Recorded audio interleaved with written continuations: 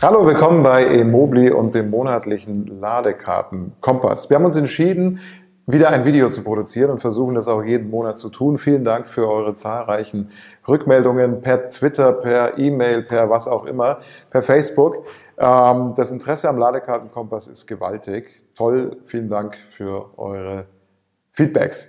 Äh, schade eigentlich, dass es überhaupt die Notwendigkeit gibt für so ein Tool, aber wir wenn wir auf den Markt äh, gucken des öffentlichen Ladens, dann sind wir relativ sicher, dass wir auch die nächsten Monate, wenn nicht Jahre, diesen Kompass brauchen werden. Gucken wir doch einmal rein. Es hat sich nämlich einiges geändert jetzt zum Stichtag 1. August. Die größte Änderung ist sicherlich die äh, Maingau Energie. Das Produkt Einfach Stromladen hat dort nämlich eine Preiserhöhung erfahren. Bislang, bis gestern, am 31. Juli, waren es 25 Cent pro Kilowattstunde. Es bleibt der Einheitspreis, aber er steigt nun um 10 Cent auf 35 Cent pro Kilowattstunde.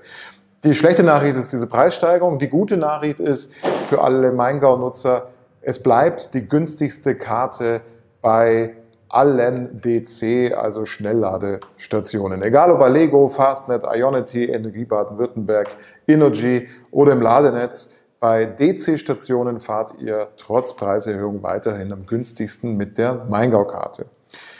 Eine Veränderung gibt es bei den AC-Ladestationen, also Wechselstrom bis 22 Kilowatt.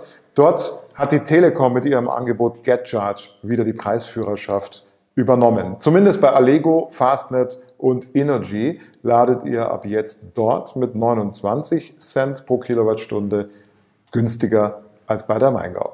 Kleinere Änderungen gab es noch bei New und Plug Surfing, die aber nicht wirklich weiter ins Gewicht gehen.